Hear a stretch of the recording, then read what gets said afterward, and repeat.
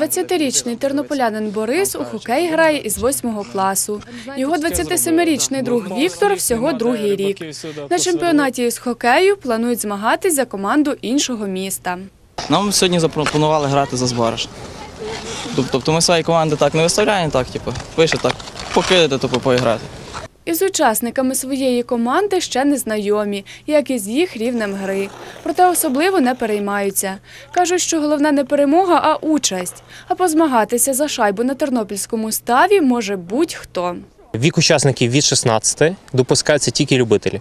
Професіонали е, допускаються тільки, якщо вони вже не грають е, чи не мають контрактів протягом п'яти Дводенні змагання із хокею для любителів Тернопіль Хокей Класік будуть проходити одночасно на п'яти майданчиках 26 та 27 січня. Заявки на участь вже надіслали 13 команд, а переможці отримують головний приз кубок із дерева. До участі запрошують також усіх охочих. Початок о 10-й годині. Е, Перший день групові змагання. Е, Приймає участь 16 команд зі всієї України. Більшості це Тернопіль, Львів, Франківськ, Хмельниччина, е, з Києва команди, з, Вінниці. Е, Перший день групові, другий день е, фіналісти грають. Крім кубка, зробленого за американським зразком, переможці та кращі гравці отримують також спортивні аксесуари, спорядження та знижки на поїздки від місцевих туристичних фірм.